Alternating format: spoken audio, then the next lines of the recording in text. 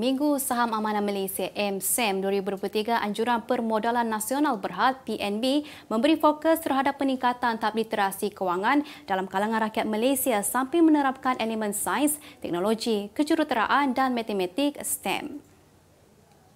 Dirasmikan oleh Perdana Menteri Datuk Seri Anwar Ibrahim, perasmian MSEM 2023 berlangsung dengan jayanya di setiap Fountains Pertam Pulau Pinang pada Ahad. Pengerusi kumpulan PNB Raja Tan Sri Arshad Raja Tun Uda berkata program yang dianjurkan sejak tahun 2000 itu memenuhi kesemua empat teras komitmen tanggungjawab sosial korporat iaitu pendidikan, literasi kewangan, pembangunan komuniti dan inisiatif perkongsian ilmu pengetahuan. Ujarnya, MSEM memfokuskan elemen STEM yang diterapkan dalam kandungan dan ruang pameran bertujuan untuk memberi inspirasi kepada semua khususnya golongan muda untuk terus menimba ilmu dengan dan mengejar pendidikan tinggi serta mencuburi bidang STEM.